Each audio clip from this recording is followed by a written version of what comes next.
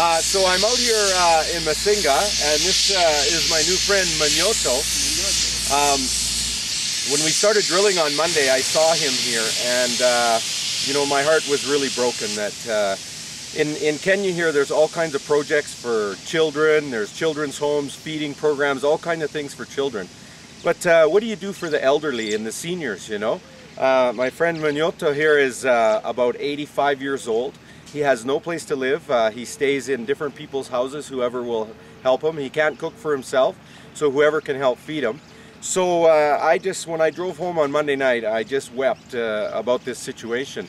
And uh, I know through Joseph and Veronica that there's some other uh, people who are in the same same position out here, and there's nobody to look after them. So up in the corner of uh, the property here that we have, the two acres, there's another one acre piece uh, that, an, that an elderly fellow lived on. Um, he passed away just recently and they buried him. Uh, his, his, grave is right there beside where the little house was. And uh, we can buy that one acre piece for about $1,500.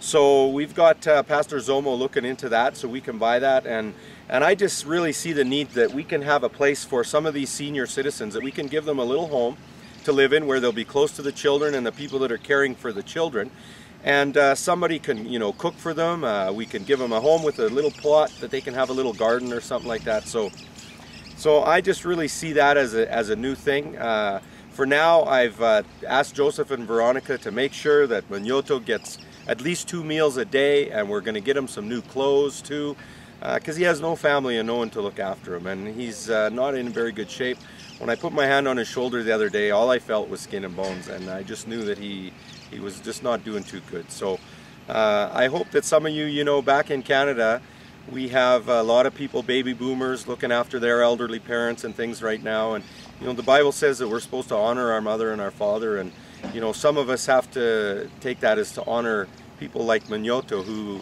who, who doesn't have any children to look after them. And, and uh, also we're going to have all these orphans here who don't have parents. And so the, the value that guys like this uh, will be to be in this compound and be around them will just be amazing. So this is a new thing I'd like to uh, put out to people that we need to start looking after some of these senior citizens in conjunction with our children's home.